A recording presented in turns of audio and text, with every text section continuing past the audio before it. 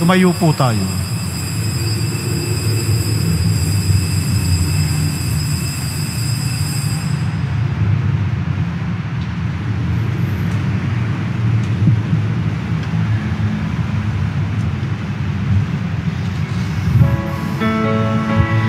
Purihin ng Panginoon, humawit ng kagalakan,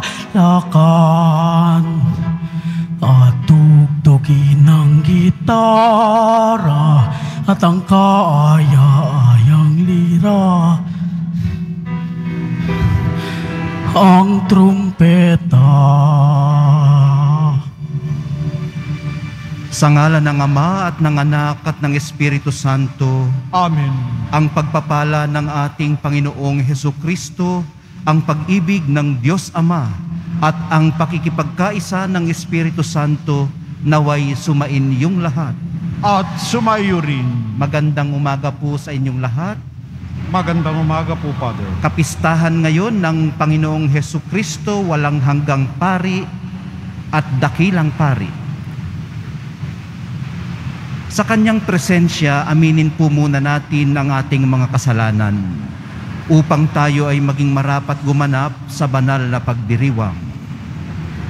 Inaamin ko sa makapangyarihang Diyos At sa inyo, mga kapatid, naluba akong nagkasala sa isip, sa salita, sa gawa, at sa aking pagkukulang.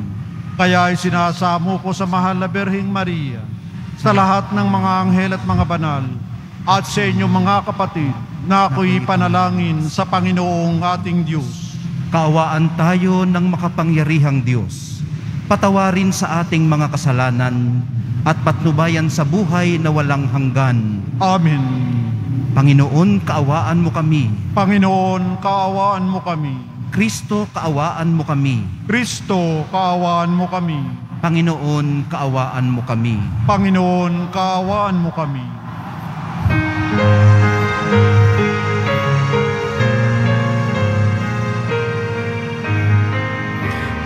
Papuri sa Diyos, papuri sa Diyos, papuri sa Diyos sa kaitaasan.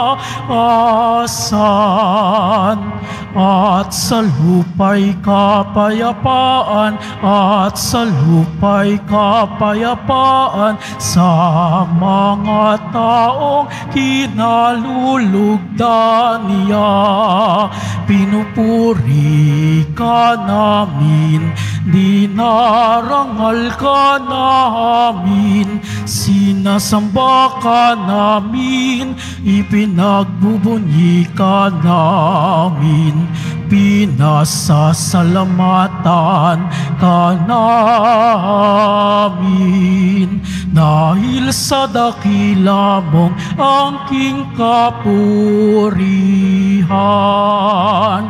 Panginoong Diyos, Hari ng langit, Diyos amang makapangyarihan sa lahat. Panginoong Hesu Kristo, bugtong na anak. Panginoong Diyos, Kordero ng Diyos, anak ng Ama. Ikaw na nag-aalis ng mga kasalanan ng sanlibutan. Maawa ka, maawa ka sa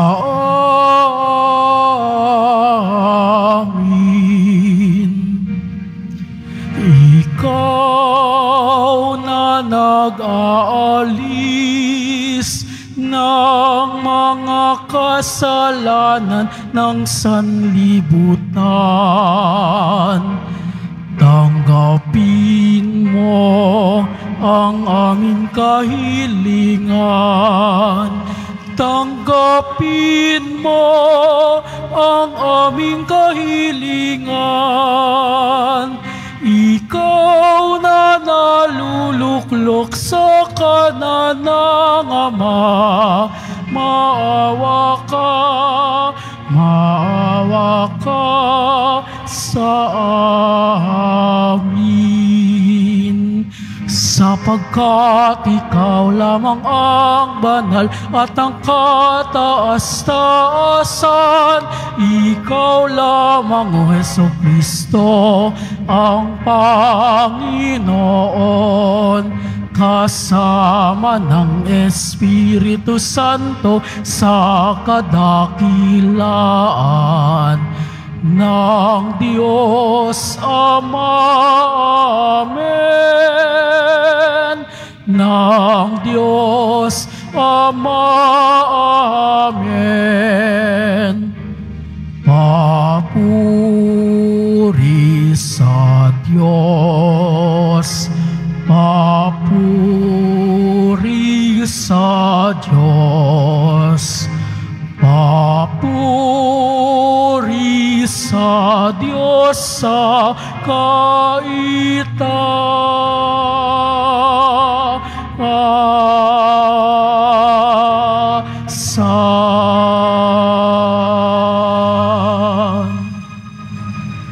Manalangin tayo.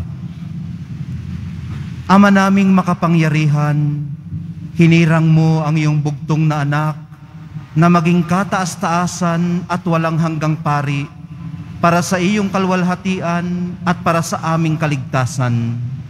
Marapatin mo na sa pagkakaloob ng Espiritu Santo ang iyong mga hinirang na mga lingkod at katiwala ng iyong mga misteryo ay makatupad ng may katapatang lubos sa atas ng paglilingkod na kanilang tinanggap sa pamamagitan na rin ni Heso Kristo kasama ng Espiritu Santo magpasawalang hanggan. Amin. Maupo po tayo. Pagbasa mula sa aklat ng Henesis. Noong mga araw na iyon, pagsapit nila sa dakong itinoro ng Diyos, gumawa ng dambana si Abraham. Inayos niya sa ibabaw nito ang panggatong at inihiga si Isaac. Matapos gapusin, nang sasaksakin na niya ang bata, tinawag siya ng anghel ng Panginoon at mula sa langit ay sinabi, Abraham, Abraham, huwag mong patayin ang bata. Huwag mo siyang saktan. Na ipakita mo ng handa kang sumunod sa Diyos sapagkat hindi mo ipinagkait sa Kanya ang kaisa-isa at pinakamamahal mong anak. Paglingon niya'y may nakita siyang isang lalaking tupa na ang mga sungay ay napasabit sa mga sanga ng kahoy. Ito ang kinuha ni Abraham at inihandog kapalit ng kanyang anak.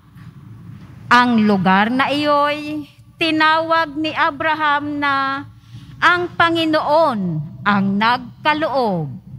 At magpahanggang ngayon, sinasabi ng mga tao, sa bundok ng Panginoon ay may nakalaan.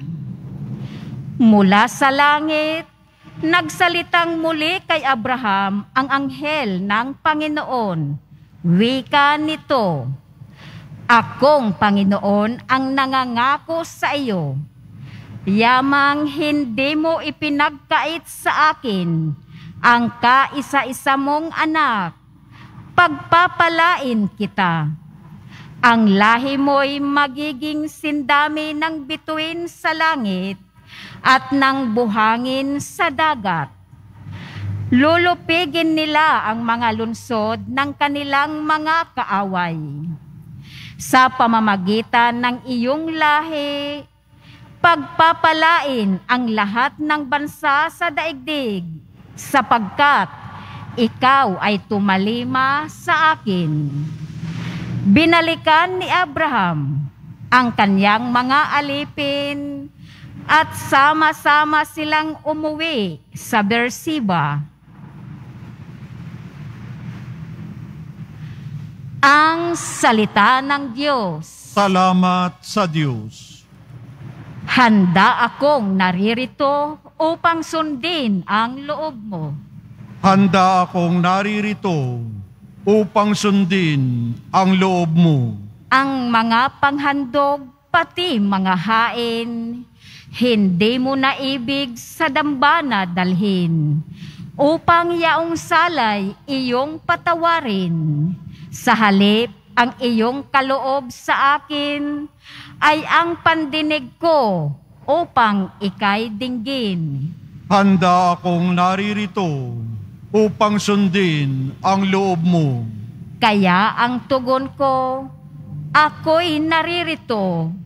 Nasa kautusan ang mga turo mo. Ang nais kong sundi, iyong kalooban. Aking itatago sa puso ang aral. Handa akong naririto upang sundin ang loob mo. Ang pagliligtas mo'y ipinagsasabi. Di ko inilihim sa aking sarili. Pati pagtulong mo't pag-ibig na tapat, sa mga lingkod mo'y isinisiwalat. Handa akong naririto upang sundin ang loob mo. Silang lumalapit sa iyo'y dulutan ng ligaya't galak na walang kapantay. Bayaang sabihin, ang puon ay dakila na nangaghahangad, maligtas na kusa. Handa akong naririto upang sundin ang loob mo. Tumayo po tayo.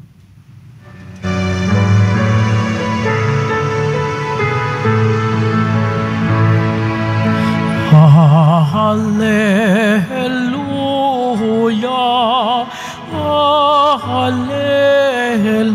Hallelujah, Hallelujah,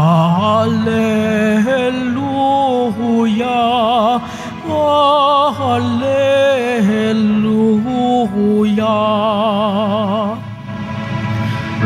Masunuring Kristo Jesus, naghain ng buhay sa krus.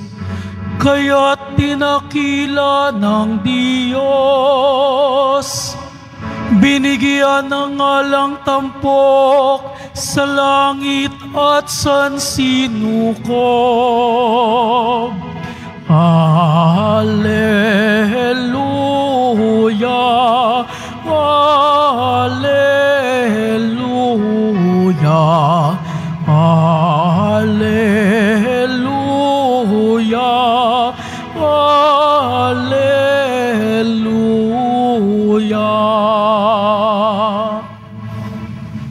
Sumainyo ang Panginoon. At sumaiyo rin. Ang mabuting balita ng Panginoon ayon kay San Mateo. Papuri sa iyo, Panginoon. Noong panahong iyon, isinama sila ni Jesus sa isang lugar na tinatawag na Gethsemane.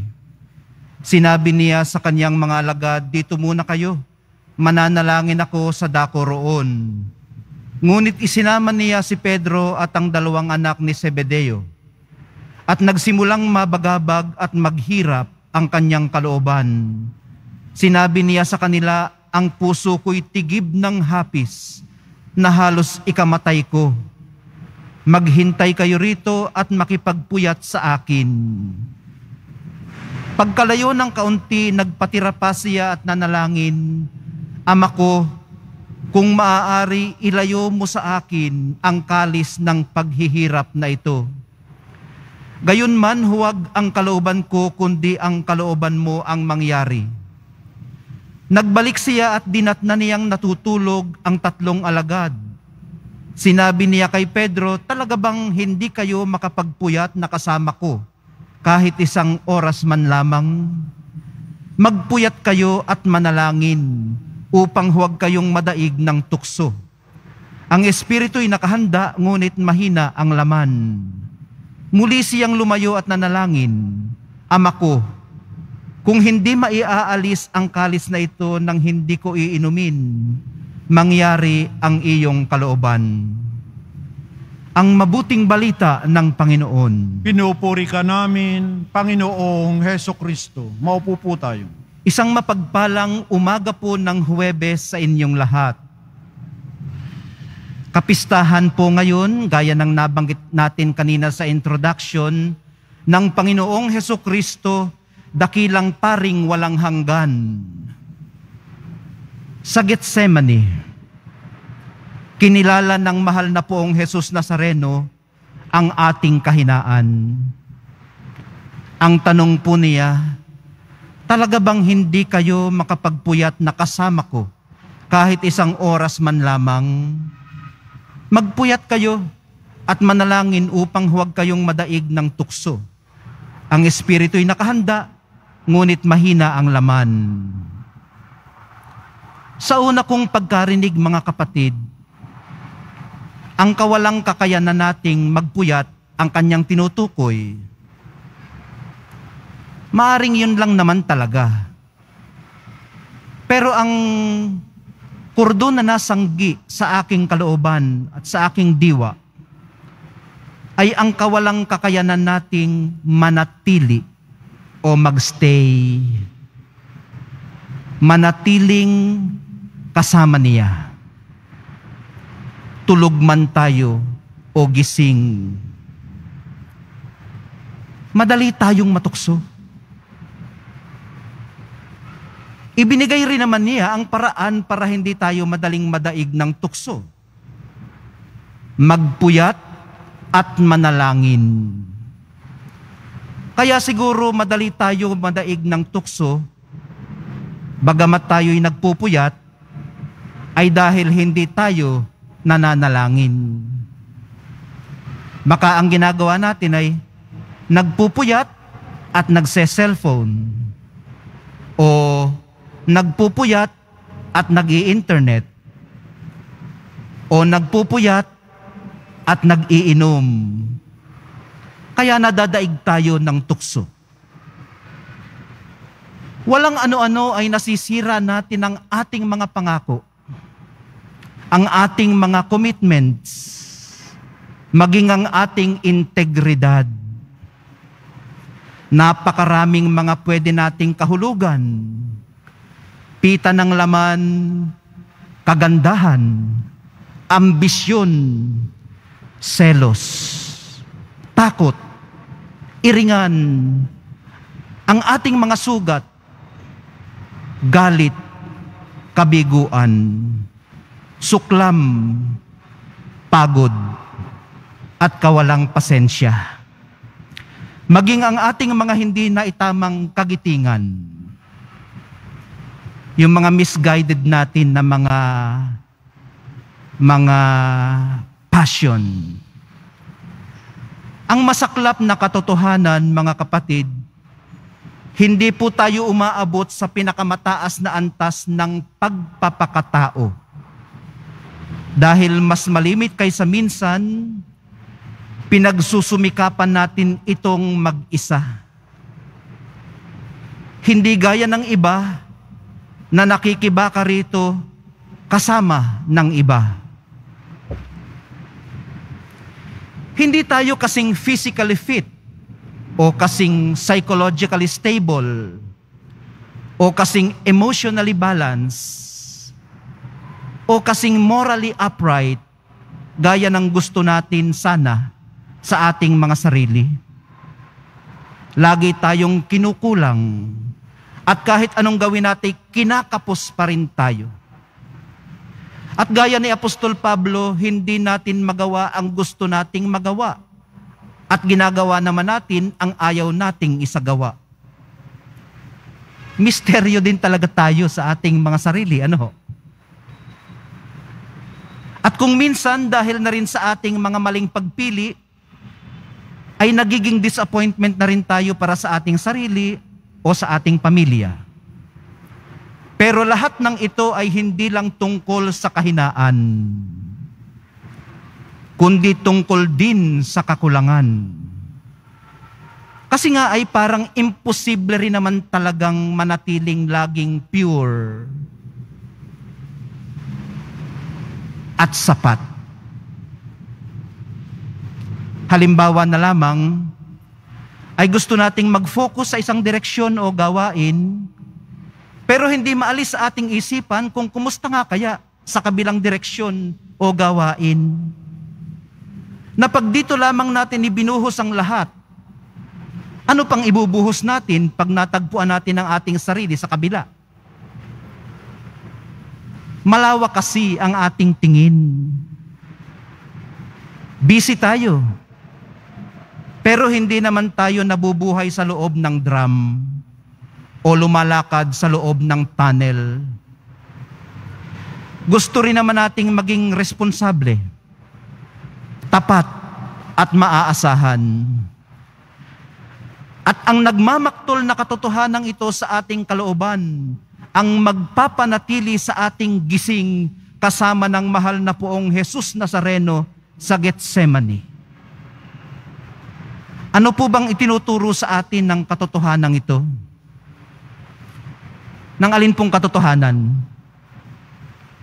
Nang makulit nating pagnanais na gusto rin nating magpakabuti.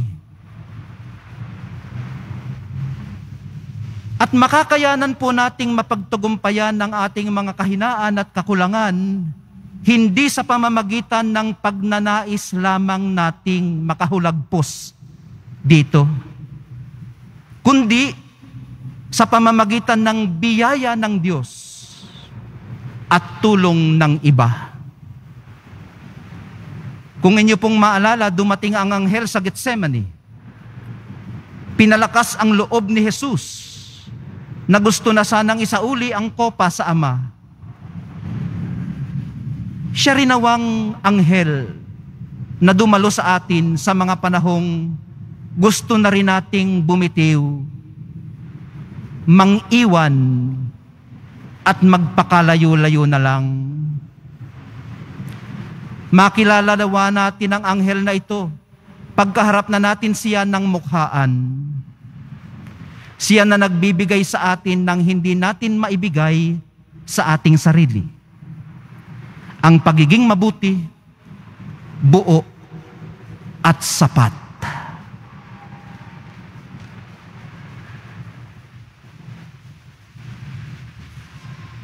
Tumayo po tayo.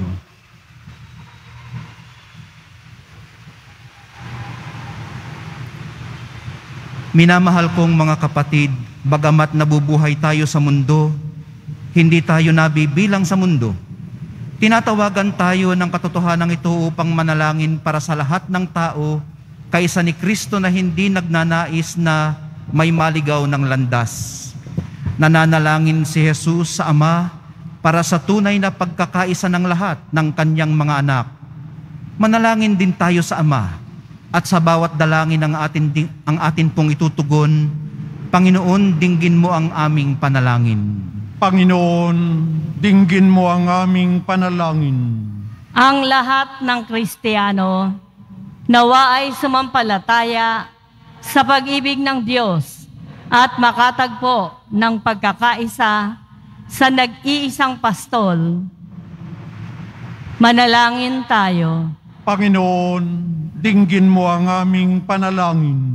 Ang mga naglilingkod sa bayan, naway maging saksi sa katotohanan ng kanilang pananampalataya, lalo na sa paggamit ng kanilang kapangyarihan at sa pagtupad ng kanilang mga pananagutan. Manalangin tayo. Panginoon, dinggin mo ang aming panalangin. Ang mga Kristiyanong tapat sa pananampalataya, nawa ay magsikap na maging banal sa kanilang araw-araw na pamumuhay. Manalangin tayo. Panginoon, dinggin mo ang aming panalangin. Ang mga matatanda, mga nangungulila, mga may kapansanan at may sakit, naway magtiwala sa Diyos na nagpapalakas sa kanila sa pamamagitan ng init ng kanyang presensya. Manalangin tayo. Panginoon, dinggin mo ang aming panalangin. Ang mga yumao, nawa ay mabuhay ng walang hanggan, kasama ng Diyos ng pag-ibig. Manalangin tayo. Panginoon, dinggin mo ang aming panalangin. Butihing Ama, habang iniibig namin ang isa't isa, nabubuhay ka sa amin at nagiging ganap ang iyong pag-ibig na nasa amin. Tanggapin mo ang aming mga panalangin sa pamamagitan ni Kristo na aming Panginoon. Amen. Maupo po tayo.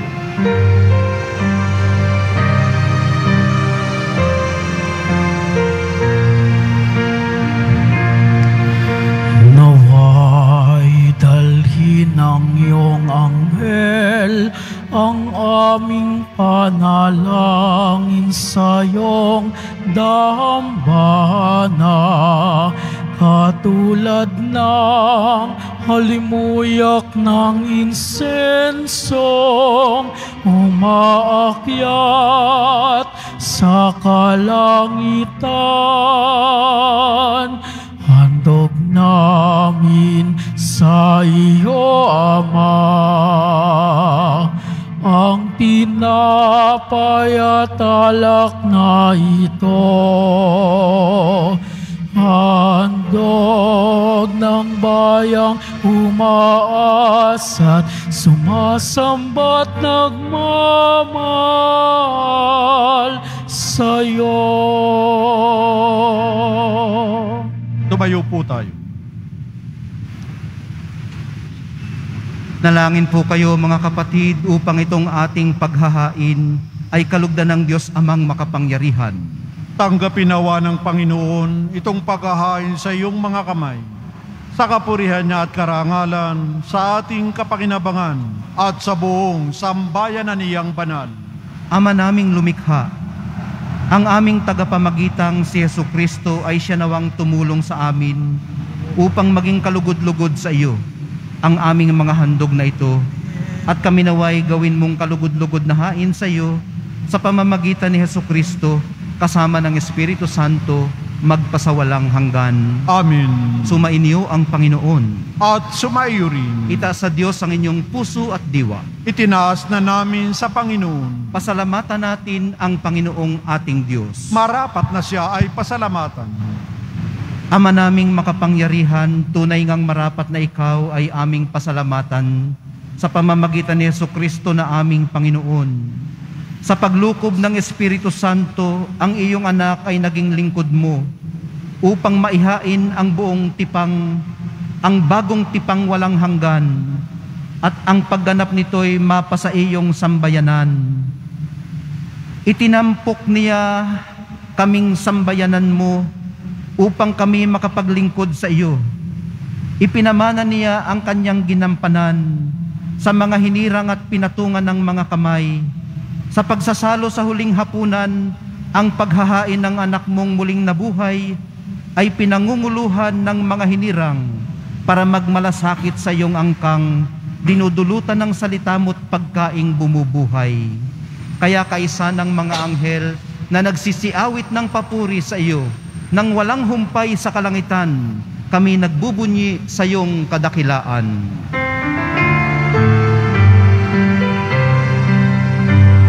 Banal ka poong may kapal, banal ang iyong pangalan, banal ang iyong kaharian, langit lupa'y nagpupugay sa iyong kadakilaan, dinarakila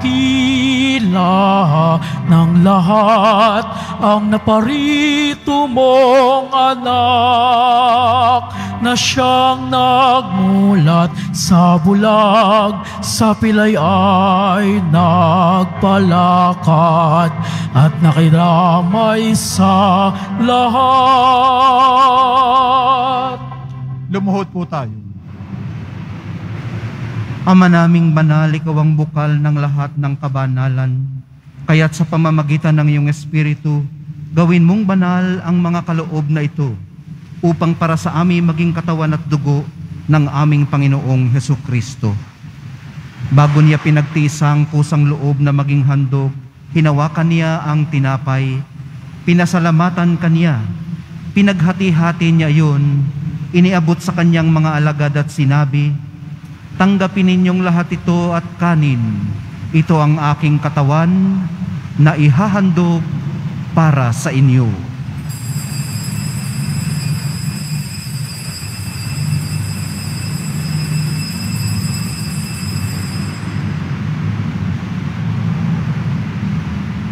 Gayon din naman noong matapos ang hapunan, hinawakan niya ang kalis. Muli kanyang pinasalamatan.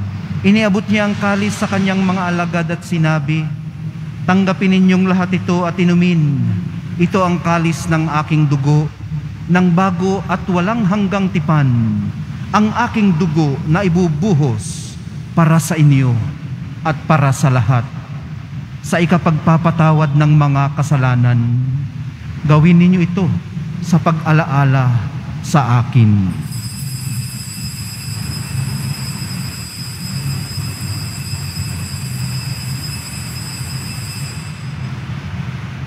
Tumayo po tayo. Ipagbunyi natin ang misteryo ng pananampalataya. Si Kristo'y namatay, si Kristo'y nabuhay, si Kristo'y babalik sa wakas ng panahon. Ama, ginagawa namin ngayon ang pag-alala sa pagkamatay at muling pagkabuhay ng iyong anak. Kaya't iniaalay namin sa iyo ang tinapay na nagbibigay buhay at ang kalis na nagkakaloob ng kaligtasan. Kami nagpapasalamat dahil kami iyong minarapat na tumayo sa harap mo para maglingkod sa iyo. Isinasamo namin kaming magsasalo-salo sa katawan at dugo ni Kristo ay mabuklod sa pagkakaisa sa pamamagitan ng Espiritu Santo. Ama, lingapin mo ang iyong simbahang laganap sa buong daigdig. Puspusin mo kami sa pag-ibig. Kaysa ni Francisco na aming Santo Papa at ni Jose na aming Arsobispot ng Tanang Kaparian at ng iyong piniling sambayanan. Alalahanin mo rin ang mga kapatid naming nahimlay nang may pag-asang sila'y muling mabubuhay, gayon din ang lahat ng mga pumanaw. Kaawaan mo sila at patuloyin sa iyong kaliwanagan. Kaawaan mo at pagindapatin kaming lahat na makasalo sa iyong buhay na walang wakas. Kaisa ng mahal na Birheng Maria na ina ng Diyos, ng kabiyak ng puso niyang si San Jose, kaisa ng mga apostol ni San Juan Bautista at ng lahat ng mga banal na namuhay dito sa daigdig ng kalugod-lugod sa iyo. May pagdiwang nawa namin ang pagpupuri sa ikararangal mo sa pamamagitan ng iyong anak na aming Panginoong Heso Kristo. Sa pamamagitan ni Kristo, kasama niya at sa Kanya, ang lahat ng parangal at papuri ay sa iyo, Diyos amang makapangyarihan, kasama ng Espiritu Santo, magpasawalang hanggan. Amen.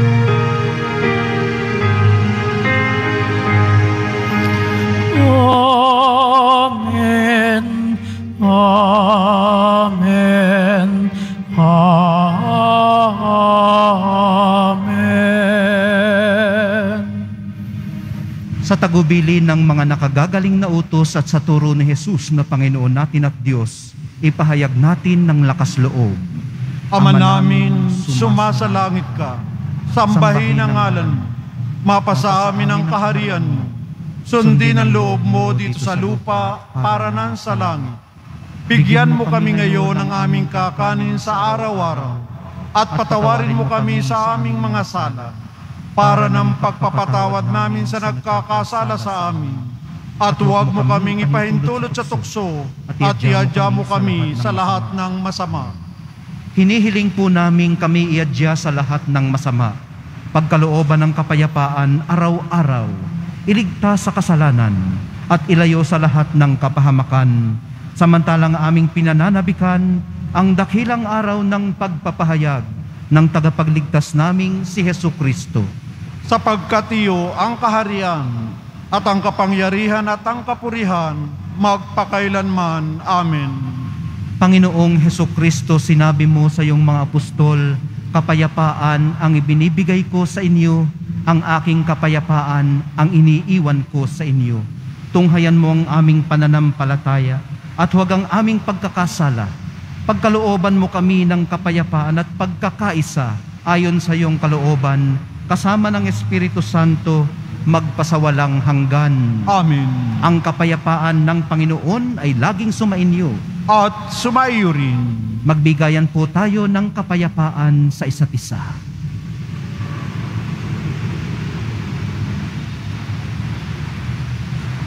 Kordero ng Diyos na nagalis ng mga kasalanan ng sanlibutan, maawa ka sa amin.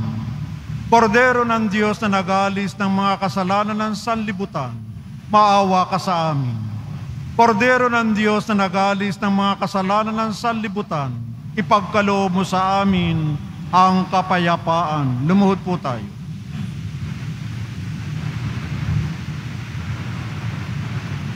Ito ang kordero ng Diyos. Ang kordero na nag-aalis ng mga kasalanan ng sanlibutan. Mapapalad ang mga inaanyayahan sa piging ng kordero. Panginoon, hindi ako karapat dapat na magpatuloy sa iyo. Ngunit sa isang salita mo lamang ay gagaling na ako.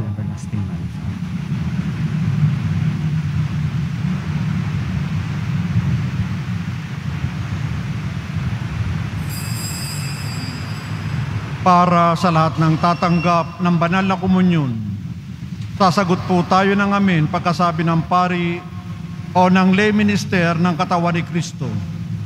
At isubo agad sa bibig bago umalis sa harapan ng pari o lay minister. Sumunod po tayo. Maraming salamat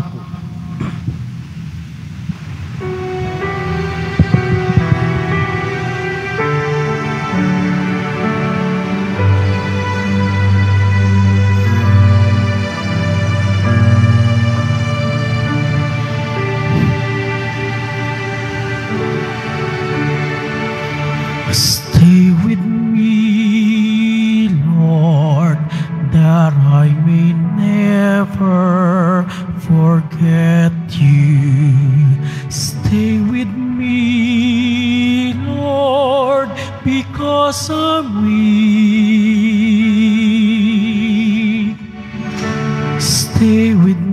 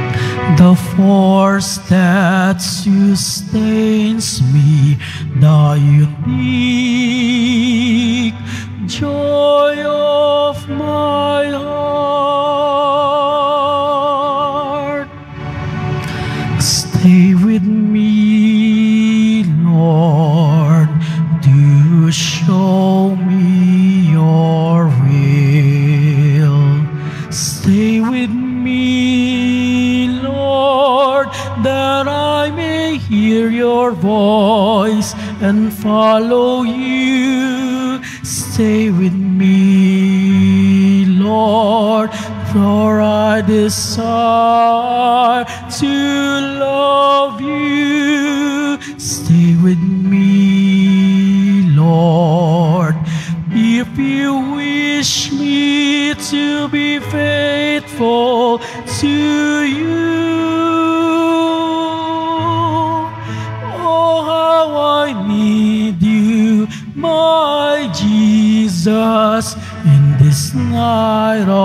of exile, stay with me, my Jesus, in the breaking of the bread, the light which disperses all darkness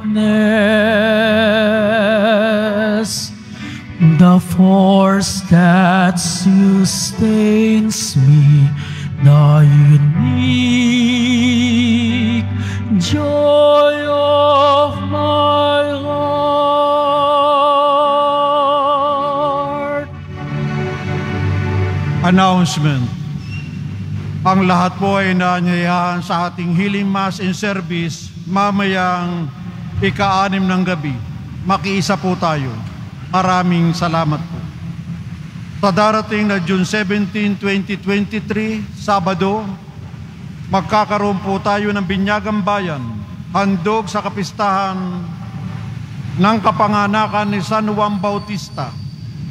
Sa mga nagnanais, maaari kayong makipag-ugnayan sa ating records office ng parokya na matatagpuan sa ground floor Cardinal Sin Building mula ikawalo ng umaga hanggang ikalima ng hapon. Maaring hanapin sina Miss Shirley o si Miss Jocelyn, record staff ng parokya para sa mga detalye. Maraming salamat. Pinapaalalahanan ng lahat na huwag maging kampante sa banta ng COVID-19. Pagkos, dapat nating ipagpatuloy ang tamang pagsunod sa minimum public health standard ang pagsusuot ng tamang face mask. Pagkatapos ng misa, bibisikan po ang lahat ng banal na tubig. Pinakikiusapan ng lahat na manatili lamang muna sa inyong mga lugar. Sa Quezon Boulevard o sa Plaza San Juan ang labasan ng lahat. Sumunod po tayo. Maraming salamat po sa inyong pagdalaw at pagsisimba sa Basilica Minor ng Itim na Nazareno. Tumayo po tayo. Manalangin tayo. Ama naming mapagmahal, magdulot nawa sa amin ng ibayong buhay, ang banal na paghahain na aming ipinagdiriwang at tinanggap, upang sa aming matibay na bigkis ng pagmamahal sa iyo, kami manatiling nagbubunga na magtatampok sa amin sa buhay na walang hanggan.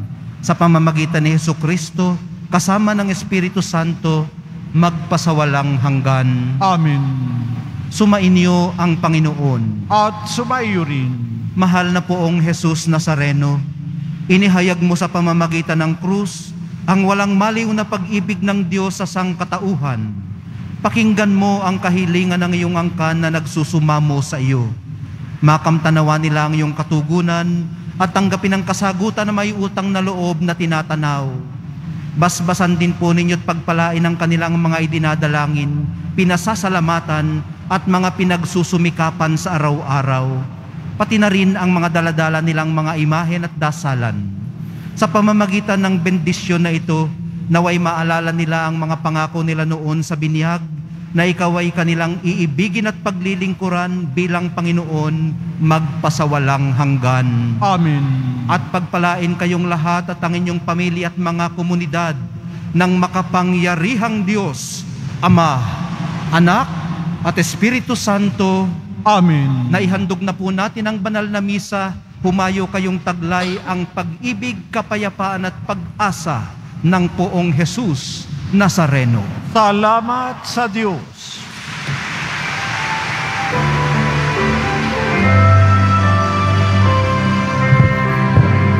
Nuestro Padre Jesús Nazareno, sinasamba ka namin. Pinipintuho ka namin. Aral mo ang aming buhay at kaligtasan. Nuestro Padre Jesus Nazareno, iligtas mo kami sa kasalanan. Ang krus mong kinamatayan ay sagisag ng aming kaligtasan. Nuestro Padre Jesus Nazareno, dinarangal ka namin. Nuestro Padre Jesus Nazareno, nilulwalhati ka namin. Nuestro Padre Jesus Nazareno, dinarangal ka namin. Nuestro Padre Jesus Nazareno, nilulwalhati ka namin.